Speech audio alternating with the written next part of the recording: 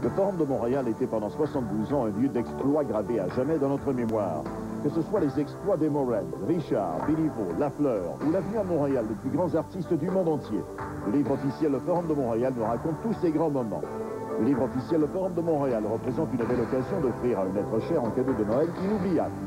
Le Forum de Montréal, la fierté pour toujours.